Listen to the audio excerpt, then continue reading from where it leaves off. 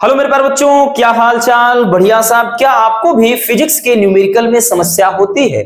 अगर ऐसा है तो ये वीडियो खास आपके लिए ही है।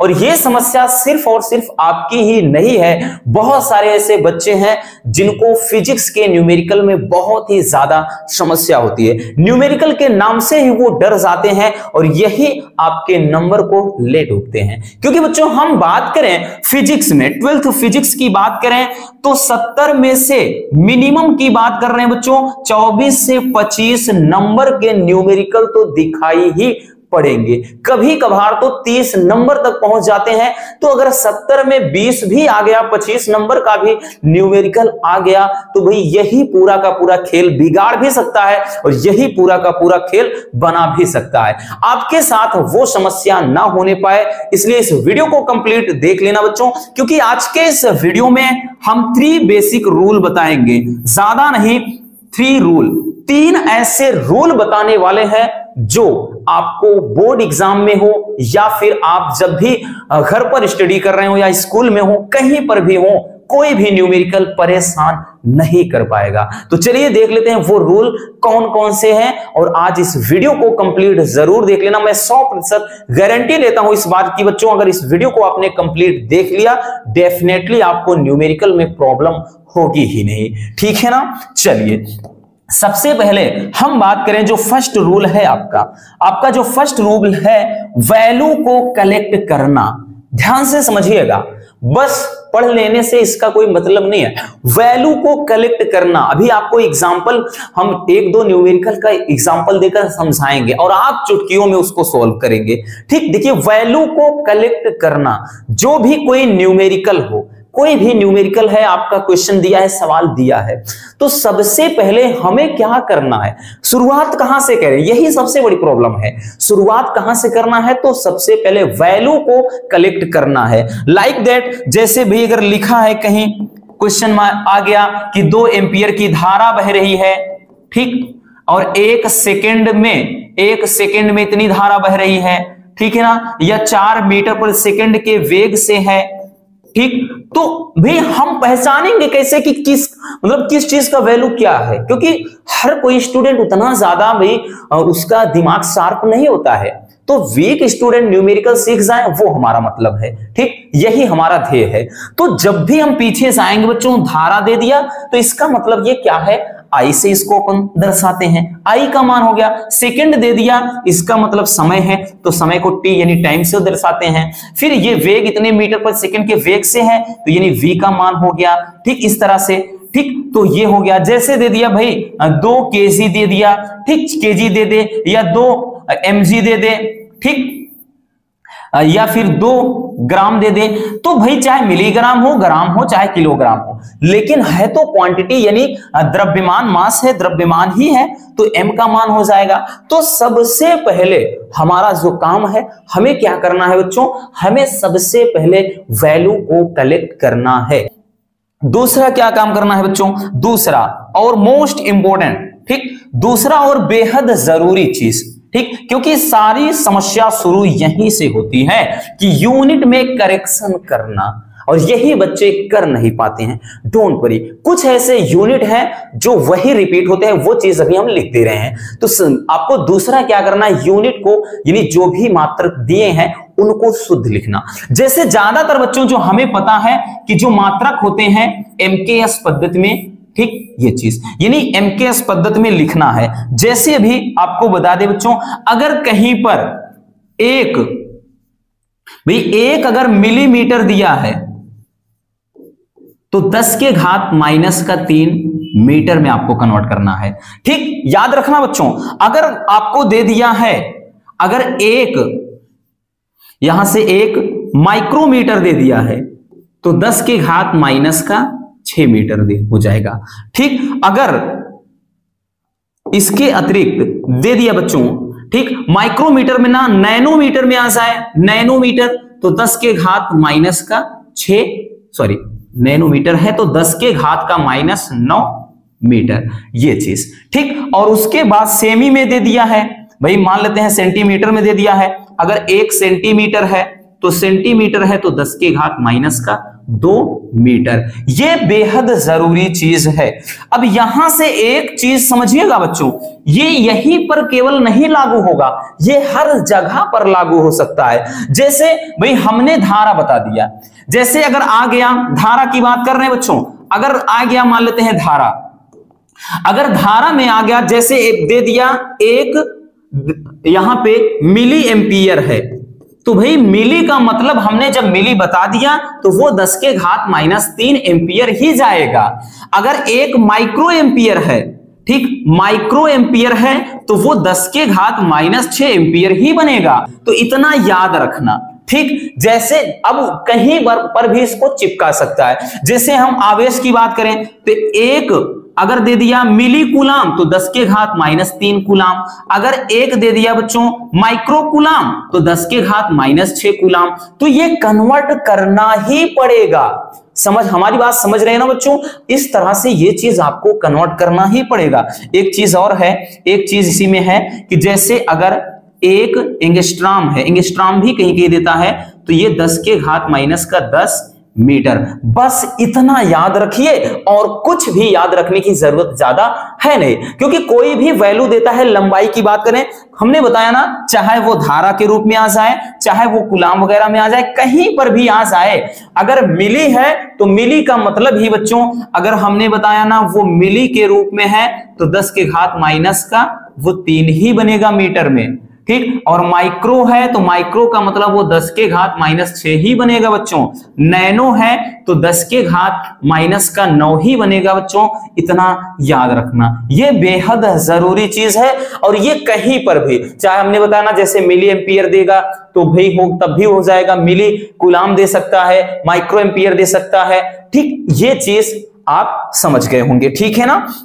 तो ये चीज़ बच्चों याद रखिएगा। ठीक, अब उसके बाद जैसे भाई, अगर समय आ गया, क्योंकि एम के एस जो टाइम होगा ऑल टाइम उसको हम बने, बदले, भैया, यहाँ पे बदलना है हमको किसमें बच्चों? वो बदलना है सेकंड में ही। ठीक है ना? जैसे समय आ गया तो समय अगर आ गया, सवाल में अगर एक घंटा दे दिया है, अगर भाई हमें एक हावर्स यानी एक घंटा दे दिया है तो हम घंटा में ही उसको नहीं रखेंगे। तो ये हम लिख सकते हैं साठ, ठीक? साठ मिनट होते हैं, लेकिन मिनट में भी नहीं रखेंगे बच्चों। अब साठ मिनट है तो इसको हम साठ गुड़े एक मिनट में साठ सेकंड तो भाई यहाँ पर ये सेकंड में बदल गया।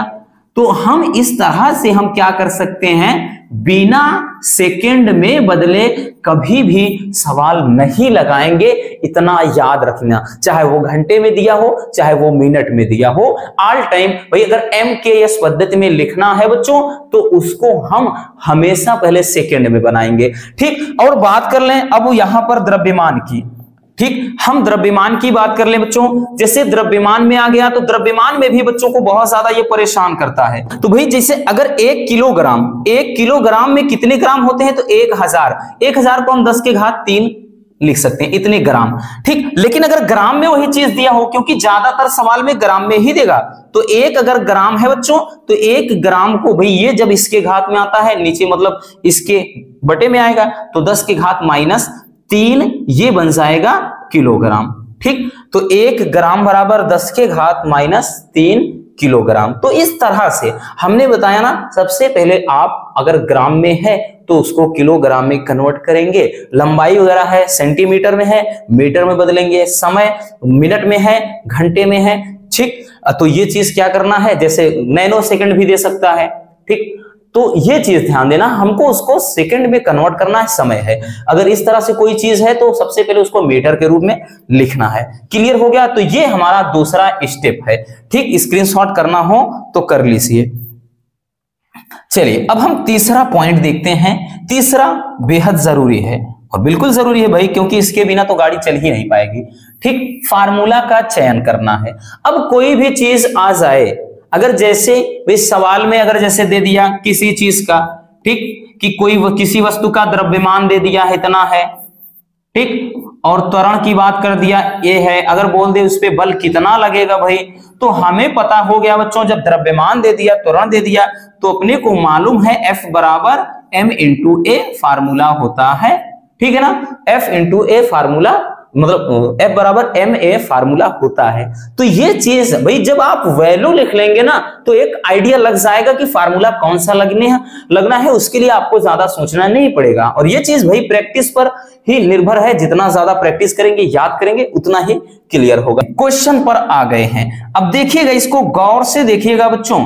कह रहा है कि तीन सेमी लंबे और ज़ीरो दशमलव ज़ीरो ज़ीरो दो देखिए मिलीमीटर स्क्वायर कह रहा है कि अनुप्रस्थ परिच्छेद वाले चालक का प्रतिरोध तीन ओम है तो चालक के पदार्थ की प्रतिरोधकता ज्ञात करिए।